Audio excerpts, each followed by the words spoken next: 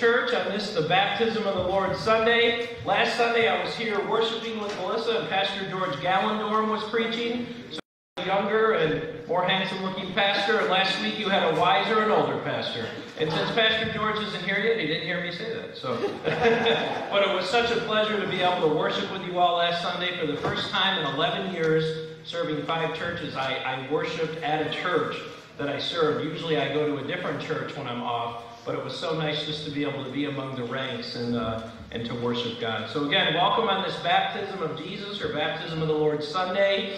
Uh, for those people watching online, or as Steve Clark calls it, the interweb, uh, welcome to people on Facebook Live. We got a new adapter for our, our camera and our live stream, so we now have high def uh, picture quality, which is good. So you can now see all of the imperfections on my face like never before. Um, so with that said, I'd invite you all to join me in our greeting this morning. It's on the screen, it's on your bulletin, and it's been put on our Facebook page, it's been emailed out. So I'm going to read our greeting from the Gospel of St. Matthew chapter 3, and you are welcome to respond on this beautiful day that God has made. Come to the waters of baptism. Touch the Spirit's power. Feel the Spirit's loving embrace. Come and be made new.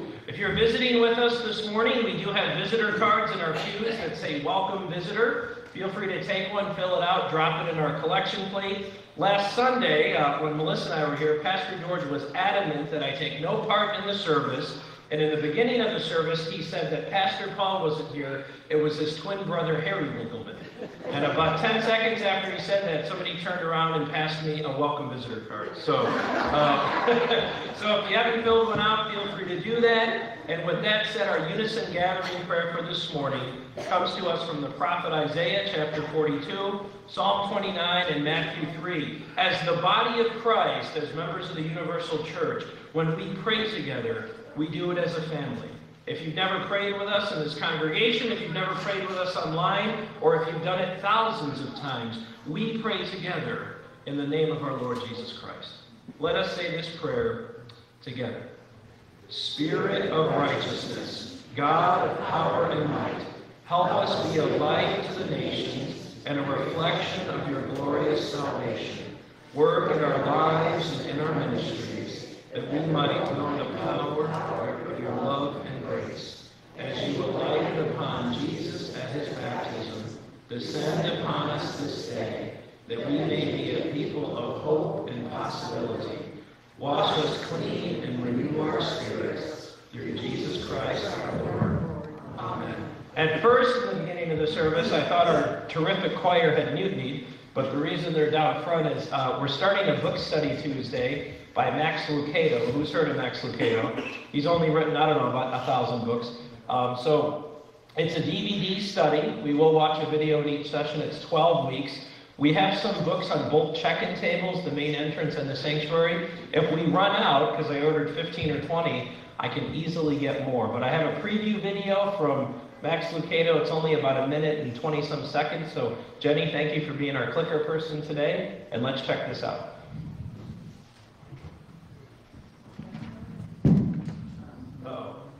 What does it look like to have unshakable hope when your life feels adrift in a sea of fear, uncertainty, tragedy, or grief? Hebrews 6:19 says, "We have this hope as an anchor for the soul, firm and secure." And we cannot deny that there are a lot of storms out there. Storms that affect our finances, our families, our futures. At times, these storms can rock our boat so badly that we fear it will sink. People who have anchored their lives in God's Word know that when the tempests come, they can cling to Christ and find He is there with them in the midst of it. During the 12 weeks in this study, we will explore several key promises that we find in the Bible. And we will look how God offers hope through each of them and how we can be sure He will keep them. So, if you need some hope today, join me on this journey. And together, we will discover how it is possible to build our lives on the unshakable promises of God.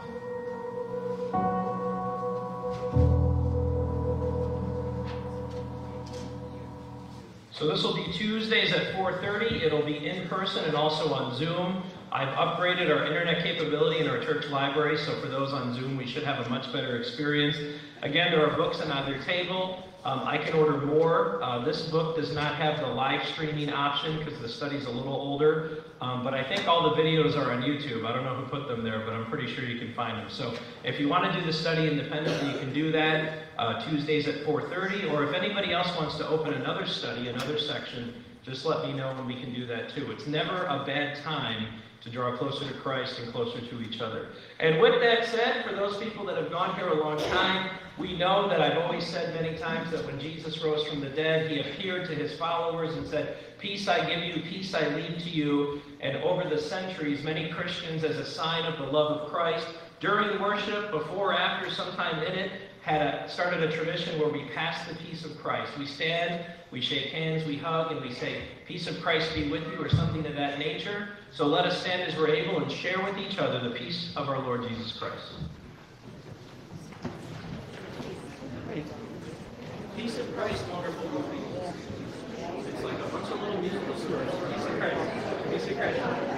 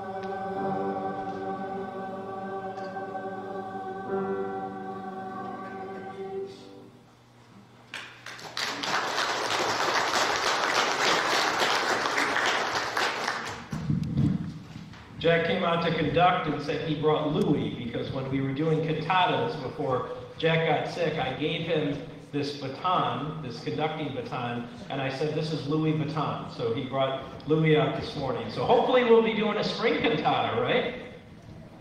We're hoping. Jack's eyes just got huge. we'll go, okay, we'll go with fall, but we haven't done a cantata in a while. So if any kids are here this morning, I have a question for you. And, you, and Jenny, if you want to click forward, there we go. That's an actual picture of Jesus. No, it's not. It's a reproduction. How are you, Izzy? I heard you selling donuts. Is that true? No. No? She's selling donuts? Next week she'll be selling Krispy Kremes. I'm sure you'll do well here.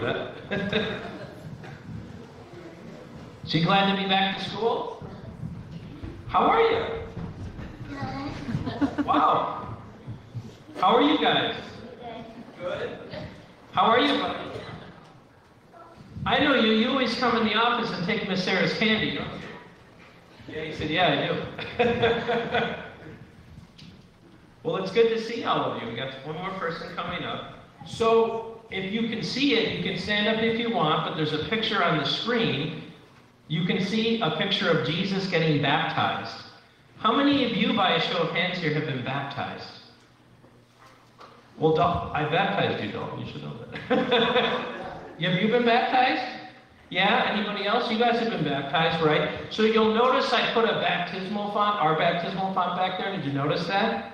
You're probably like, I think there might be a gas leak. Pastor's just moving furniture around the sanctuary. So I put the baptismal font in the middle, and I put water in it because one of the traditions that some Christians do, and I'd invite anybody here at any point during the service or after, you can touch the water in the baptismal font to remember your baptism and be thankful. So the thing that makes us Christian is an outward sign, other obviously than our faith. The symbol of our of our faith is that of baptism. So we love Jesus, but what makes us part of our part of the church is the waters of baptism, and that could be by getting um, dunked in the water, sprinkled. But today Jesus gets baptized, so what a good day to remember our baptism. So if you want, when you go back to your seats, you can touch the water. Don't splash it because we'll have a big problem on our hands. so, with that said, um, let's pray. Are, are you guys ready to go to Sunday school? And who's our teachers today? Miss Deb and, and is it Kayla? Kayla, Kayla, you're going to be busy this morning, young lady. So, all right, let's pray. God, we thank you so much on this day for the baptism of your Son, our Lord Jesus Christ. We thank you for this gift of baptism. Many of us have received it. Those that have not received it, I, I can take care of that if they talk to me. It's the symbol of who we are as people of Christ. It's done in all different ways. We're going to talk about it more this morning. I ask you to bless our children, bless their parents, bless their teachers, bless all that work with them. I want our kids, God, that are here right now to know how loved they are, to know they're always welcome here, and to know that our doors are always open for them. Bless them and bless those who work with them and their families. In Jesus' name, amen. So now you can go to Sunday school.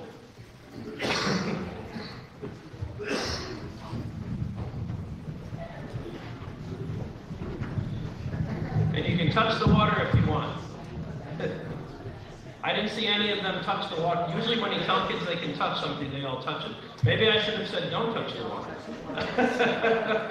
so just some announcements this morning. We will have coffee hour after service, so right down the hall, down the stairs for those visiting in our fellowship hall. And thank you to Barb Doyle and to Dolores Navinger, or as I like to call her, matron saint of the menu. So thank you for the two of them for, for helping with that. It'll be good to be able to fellowship and get together.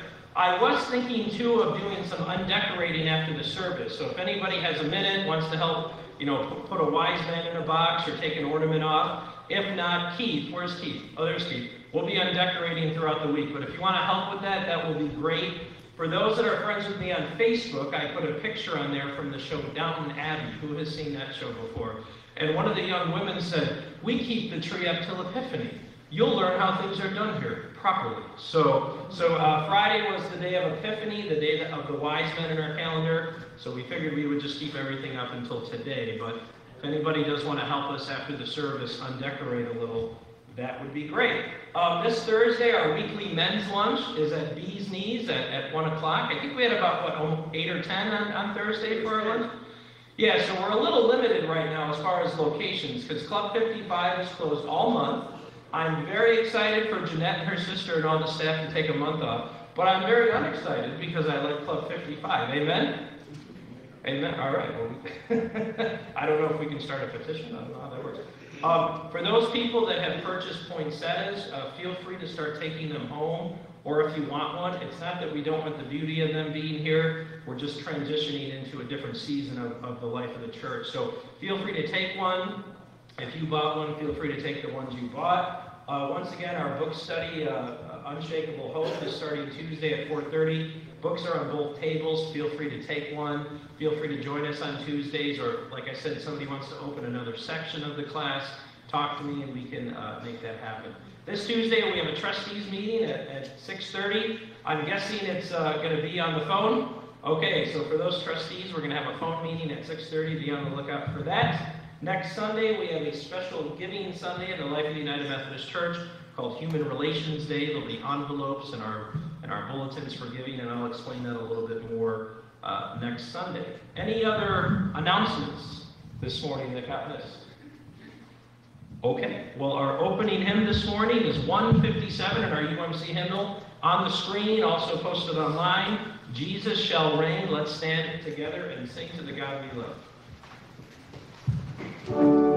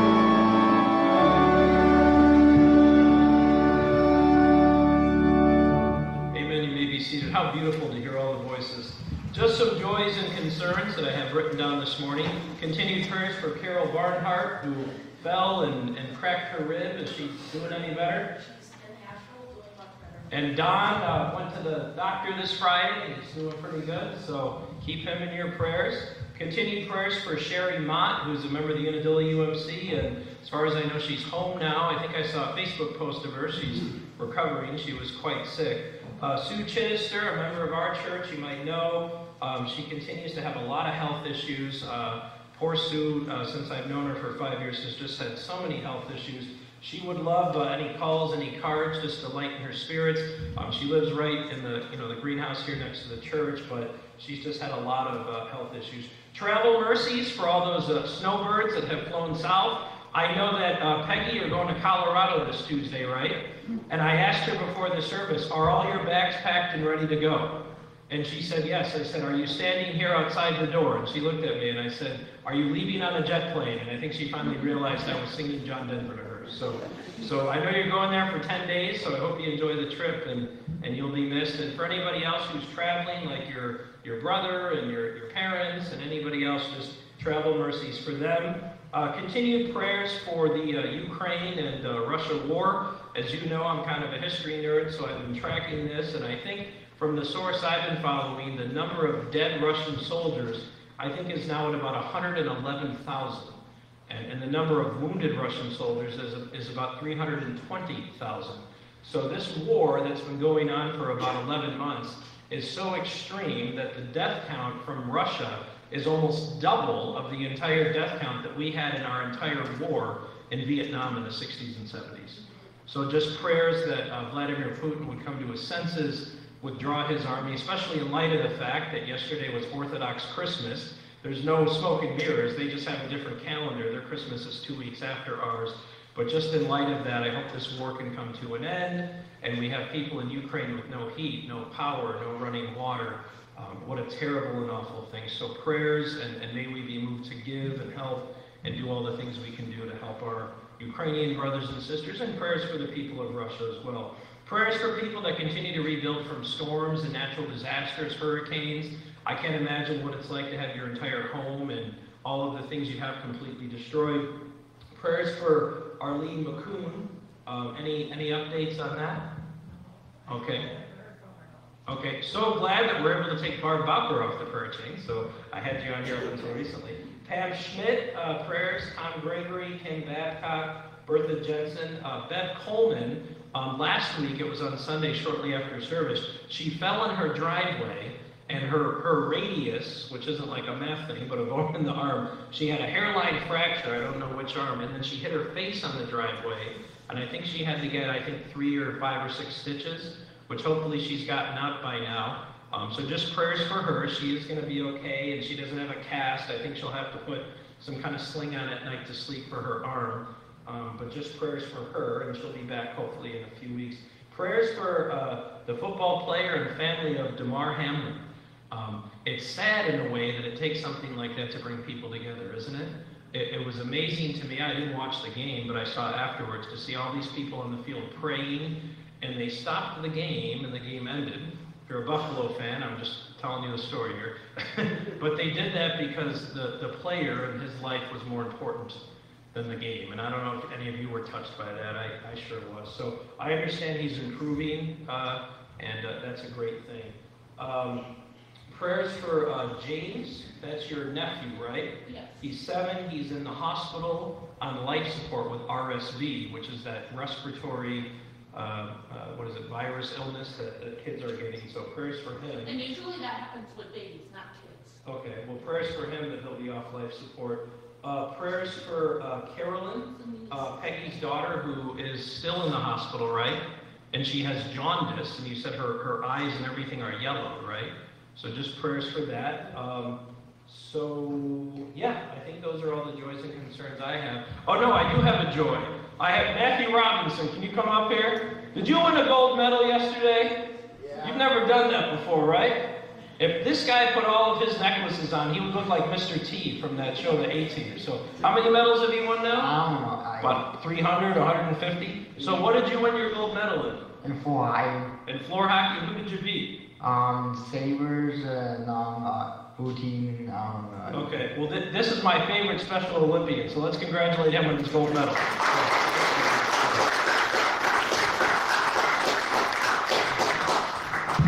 Any other uh, joys and concerns this morning? I guess I covered it. All right, well, good, good job, Pastor. All right. well, let's, uh, let's be in an attitude of prayer together. Most gracious and loving God, we praise and thank you for this day. We thank you that we have homes that are warm. We know that some of our brothers and sisters in Ukraine don't have that luxury. We thank you that we have roofs over our heads, that we have clothing, that we have food. We thank you that we get to worship in a beautiful building such as this. But may we be even more thankful for the beautiful people that inhabit this beautiful building. God, I thank you for our Sidney United Methodist Church. I thank you that you continue to grow us and you continue to give us strength.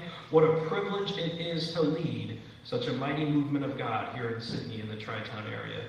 God, we thank you for the many blessings in our lives, some of which I just mentioned. But we know that there are people who suffer. There are people here this morning in our community, certainly in the world, that are suffering. Use us to be your hands and feet.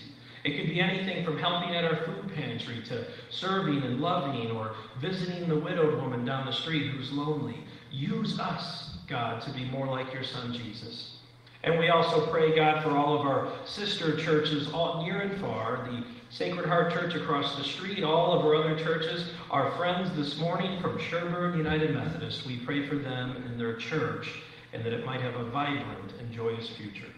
And God, this morning we pray for our men and women in uniform, all of our branches of the armed services. We pray for our police officers, EMTs, first responders, firefighters. Many of these men and women drop everything at a moment's notice and they come to help people. I remember a Christmas Eve, I think it was three or four years ago, when we had issues with our boiler. The fire department was right here. We always hear on the news about a couple bad eggs, but most of these men and women serve selflessly, and sometimes they do it in the toughest of conditions. Keep them safe, God. Make them proud, and make their witness to you make us proud. On this day, God, we pray for our government. And if anybody's been watching the news this week, boy, do we. Uh, we pray for all of our elected officials. We pray for our president, our vice president, our governor, and we pray for all of our leaders because we're commanded to in your word. Some of the leaders we have that are elected we like, some we might not like, but we're supposed to pray for our leaders. We're supposed to pray for our leaders and ask God that your will move through our President Biden, our Vice President Harris, and we pray for a better day and a better America and a better world. God, we pray for the persecuted church around the world where people are trying to worship, trying to get together, where Ukrainian families might be huddled somewhere to worship, worried if an artillery shell or a missile is going to explode, just to celebrate the birth of your Son, Jesus Christ. God, we pray for those who are oppressed and those who suffer, victims of violence and victims of trickery, victims of frauds, victims of human trafficking, people that constantly get called about their car's extended warranty, all of these kinds of things. God, we pray that oppression and evil and all of this would break and that we would stand for light and hope and mercy. God, we thank you again for your many blessings and your love and your grace. And we continue to pray for and serve those who suffer. And may we now unite our hearts, our minds, and our voices and say that prayer that Jesus Christ, your Son, our Lord, taught us to pray nearly 2,000 years ago when his friends, the disciples, asked him, Jesus, Lord, how should we pray? And he responded with what we now call the Lord's Prayer. Let us say this prayer together as we're able. Our Father, who art in heaven, hallowed be thy name. Thy kingdom come, thy will be done, on earth as it is in heaven. Give us this day our daily bread, and forgive us our trespasses, as we forgive those who trespass against us. And lead us not to temptation, but deliver us from evil. For thine is the kingdom, and the power, and the glory forever. Amen. And Terry, thank you for reading scripture today. You haven't read scripture there in about five minutes, so always pulling double duty. Thank you. Our Old Testament reading this morning is Psalm 29. You can follow along on the screen or in your Red Pew Bible on page 477. Ascribe to the Lord, O heavenly beings. Ascribe to the Lord glory and strength. Ascribe to the Lord the glory of his name. Worship the Lord in holy splendor. The voice of the Lord is over the waters. The God of glory thunders. The Lord over mighty waters. The voice of the Lord is powerful. The voice of the Lord is full of majesty. The voice of the Lord breaks the cedars. The Lord breaks the cedars of Lebanon. He makes Lebanon skip like a calf and Sirion like a young wild ox. The voice of the Lord flashes forth flames of fire. The voice of the Lord shakes the wilderness. The Lord shakes the wilderness of Kadesh. The voice of the Lord causes the oaks to whirl and strips the forest bare. And in his temple all say, Glory. The Lord sits enthroned over the flood. The Lord sits enthroned as king forever. May the Lord give strength to his people. May the Lord bless his people with peace.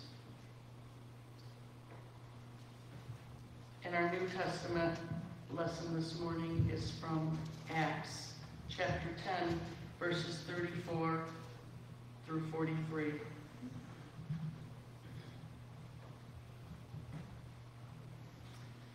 Then Peter began to speak to them. I truly understand that God shows no partiality, but in every nation, anyone who fears him and does what is right is acceptable to him. You know the message he sent to the people of Israel, preaching peace by Jesus Christ. He is Lord of all. That message spread throughout Judea, beginning in Galilee after the baptism that John announced, how God anointed Jesus of Nazareth with the Holy Spirit and with power how he went about doing good and healing all who were oppressed by the devil, for God was with him. We are witnesses to all that he did both in Judea and Jerusalem. They put him to death by hanging him on a tree. But God raised him on the third day and allowed him to appear, not to all the people, but to us who were chosen by God as witnesses, and who ate and drank with him after he rose from the dead.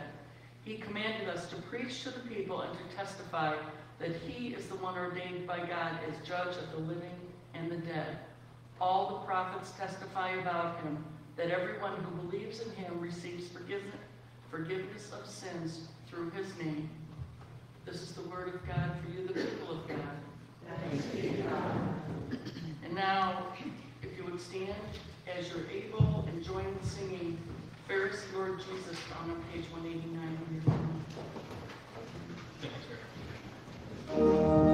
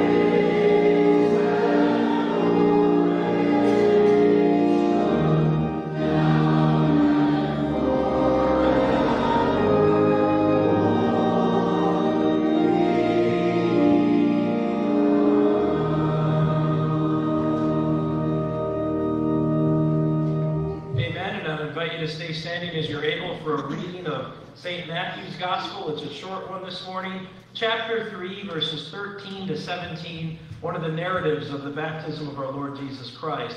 This is on, wait for it, page 3 of the New Testament in your Red Pew Bible. If you're following along, you can look on the screen. People at home, any Bible you have, Bible app, that would be good. Let us hear about the baptism of Jesus on the baptism of the Lord Sunday, Matthew 3 13 to 17. Then Jesus came from Galilee to John at the Jordan to be baptized by him. John would have prevented him, saying, I need to be baptized by you, and do you come to me? But Jesus answered, Let it be so now, for it is proper for us in this way to fulfill all righteousness. Then he consented. And when Jesus had been baptized, he came up from the water, and suddenly the heavens were opened to him, and he saw the Spirit of God descending like a dove and alighting on him. And a voice from heaven said, This is my Son, the beloved, with whom I am well pleased. Once again, the Word of God through the people of God. Thanks be to God. Amen. You may be seated. So I have a question for you, and I. Uh, this isn't in my sermon transcript, so people that read my transcript go, Why do you even write one? You never say half of what's in there, and that's true. How many people here before have ever made a career change? You did one thing, but then you radically changed, and maybe it wasn't radical, but you did something completely different. You know, you went from like a doctor to a circus clown. Or you went from a trapeze artist to an airline pilot. Anybody here by a show of hands ever make a career change? Now, the significant thing to realize this morning on this baptism of the Lord Sunday is Jesus Christ our Lord did not start his public ministry. Maybe he said some things to people here or there. We, according to the tradition, he worked with his father Joseph. And I remember Robin Williams in a comedy sketch once. He goes, Some people said, How do we know Jesus is really Jewish? And Robin Williams said, Let's look at the facts. He was 30, he lived at home, he worked in his father's business, and his mom thought he was God's gift. He's Jewish. So that's what Robin Williams said. Now, was he a carpenter, maybe a mason? You know, it could have been a mason. We, we don't know for sure. We've ascribed carpenter, but we know there wasn't a lot of trees at that point in Jerusalem. But when Jesus is baptized today, at 30, not a teenager, at 30, that is when he starts his ministry. And our reading this morning from Acts says, upon baptism, I'm paraphrasing, that's when he went forth. So, not until that point, that was the line in the sand, or should I say, the line in the water, we could say, because of baptism, that's when he went forth preaching. Now, if we go a little beyond our reading this morning from Matthew to chapter 4, he goes to the wilderness and he's tempted for 40 days and nights by the devil. I call that his basic training for those people that have been in the military. So he gets baptized, he goes through 40 days of intense training, and then he goes forth. So I say all of this this morning to say this that baptism in the Christian tradition is important. The only thing I believe that saves our souls is faith in Christ but the sign that we are a Christian is that of baptism. What is the outward visible sign of an inward spiritual grace? Baptism in water. Now, I want to be fair too, because I know Pastor Ben, who is a self proclaimed Quakeist, because he's a retired Methodist pastor, but he pastored a Quaker church for a while. The Quakers in the Salvation Army, for example, don't have sacraments. They don't believe in water baptism, they believe in spirit baptism. Because John the Baptist said, I baptize you with water, but one who is coming after me will baptize you with the Holy Spirit. That scripture is true, but Jesus also said in Matthew, I think 28, 16 to 20, go forth to all nations, baptizing them in the name of the Father, and the Son, and the Holy Spirit, making disciples and baptizing them. The majority of Christian traditions baptize in water in some form or fashion. I've had a lot of baptism debates with Miss Sarah. Miss Sarah grew up a big, ba- a, very, very solid Baptist, and she said, Pastor, you got to dunk them under the water. That's the way to do it. And I, I had a kid that I, I tutored when I was a tutor for Ithaca City School District, and I was in seminary. He was convinced that all seminarians and pastors were boring, and he would give me a hard time. And he finally said, Can you baptize me, Paul? So I wasn't a pastor yet. I said, I can baptize you. He goes, when? I said, because it was September. It was still warm. I said, Friday night, Stewart Park, I'll baptize you in the lake. And he goes, really? I said, yep. I got to hold you under for five minutes, though. And he said, why? I said, because you only get baptized once, and if I screw it up, I can't do it again. He goes, what if I drown? I said, then you don't have any faith. He never asked me again to get baptized. Now, the majority of Christian churches have baptism. That is the outward symbol, in our case, the sacrament of holy baptism. That is the symbol that you are a Christian. Now, people have asked me before, well, how come some churches baptize infants and kids and some don't? In the United Methodist Church, we are not baptizing a baby or a child because we think that they have to be baptized to keep them from being condemned to eternal damnation. We don't believe that. We do believe we're born into sin, as Scripture says. We believe baptism can remove that stain from us. But we're baptizing children or babies not because it saves their soul. We're making them part of the universal Christian church. And when we baptize them through a solemn covenant together as a family, they are part of who we are. In the ancient Jewish culture and even the present Jewish culture, some, some uh, male babies are circumcised at eight days old, and that makes them part of the tribe. That makes them part of the Jewish community. They have not yet accepted the faith for themselves, which only faith can transform and only faith can save, but they're part of the community. See, people have asked me before, so you saying my baby has to get baptized? No, I'm not saying that. Well, can we wait till they're older? Sure, I'm not going to pull them out of your hands and force them to be baptized. Baptism, I think, is essential.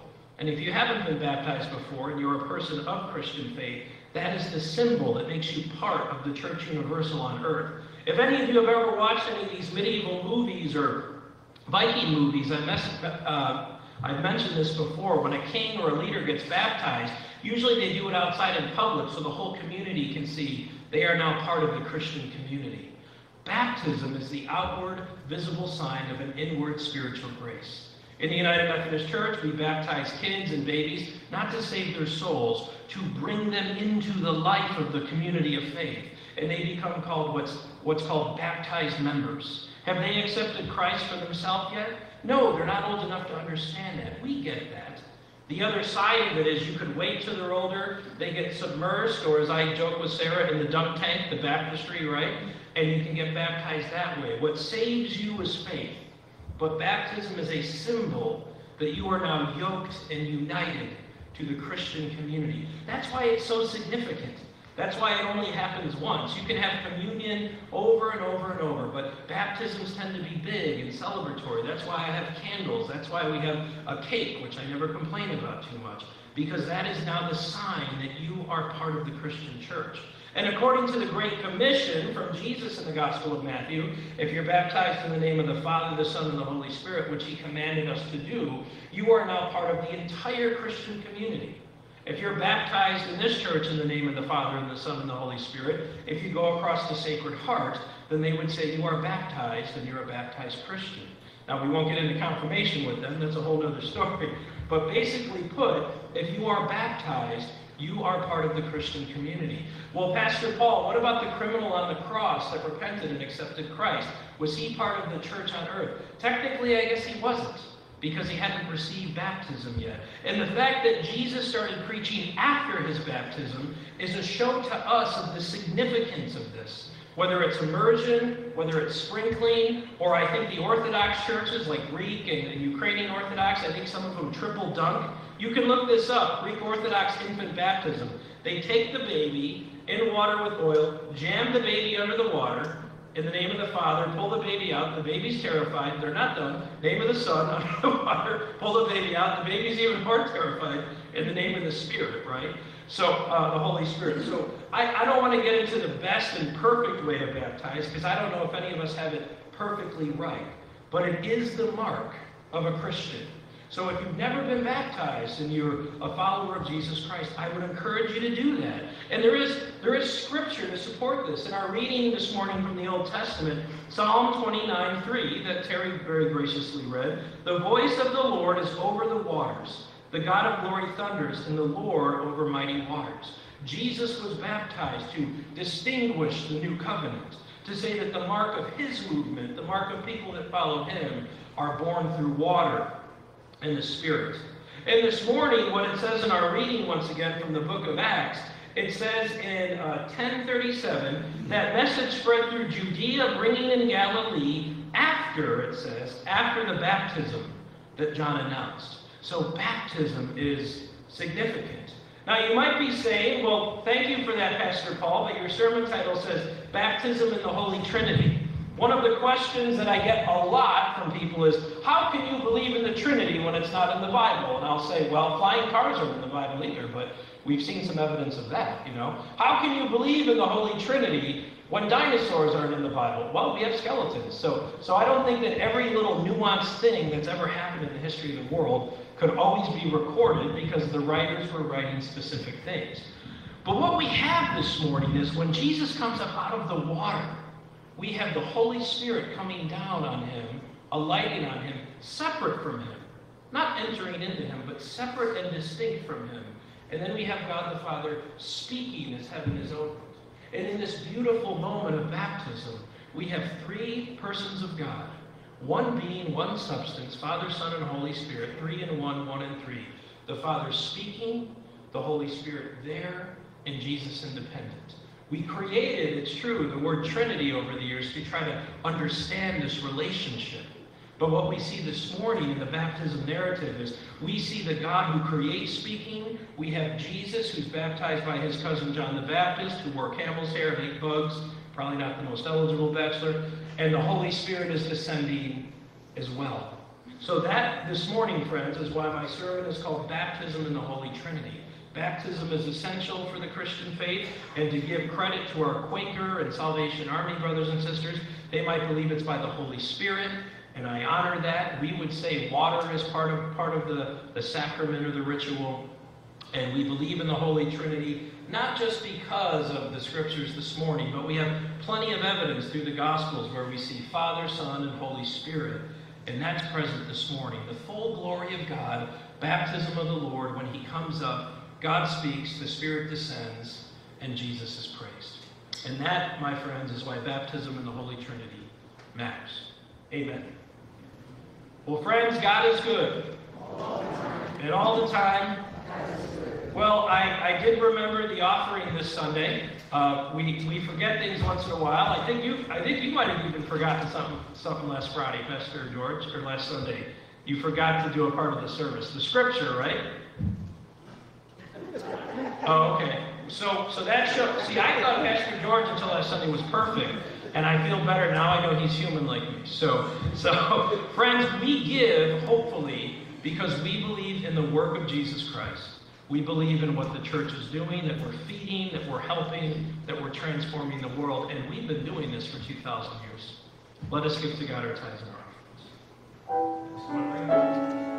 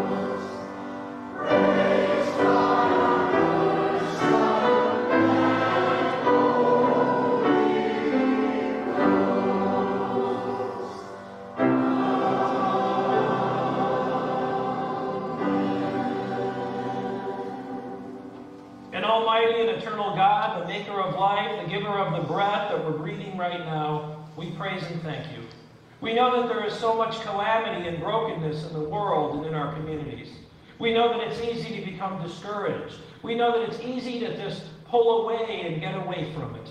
But we also know that on this day your Son was baptized and he went forth and transformed the world. He loved, he healed, he forgave, and he taught us a powerful new way to live and love and transform. And God, may we do that this day and always. And God, we ask that our tithes and our offerings that are on your altar of grace, we ask that they are stretched and grown and multiplied, not for our glory, but for yours so that the church can, can continue to do the ministry it does, continue to be the witness in Sidney and the Tri Town area, and we can continue to transform lives, and we can do it in the powerful name of your Son, our Savior, Jesus Christ. In his name we pray. Amen. Thank you, Doyle. our, uh, our closing hymn this morning is, is actually one of my favorites. Sarah picked it. Uh, 347 in our United Methodist hymnals, Spirit Song. It's on the screen. It's a short one, but it's a terrific one. Let us remain standing as we're able and sing Spirit Song this morning.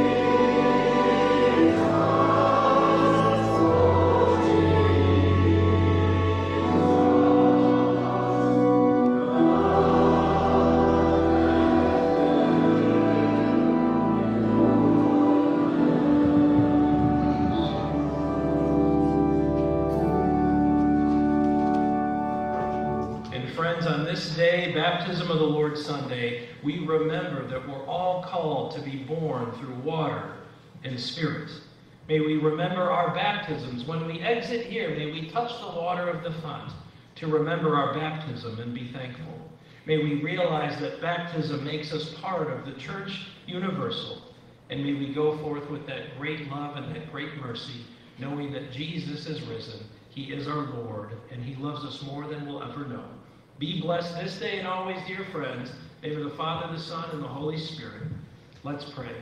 God, we praise and thank you for this day, baptism of the Lord, that Jesus was baptized and today propelled his ministry forward, that on this day he went forth changing the world, and he has changed us. And through our baptisms, he can use us to change the world as well. Give us grace this day, continue to bless our weeks, and it may use us as your hands and feet to serve and lo- love those in Sidney, the Tri-Town area, and the world. In Jesus' name, amen. And don't forget, we have coffee hour. If anybody has a hankering to undecorate too, we have that opportunity as well. God bless you all.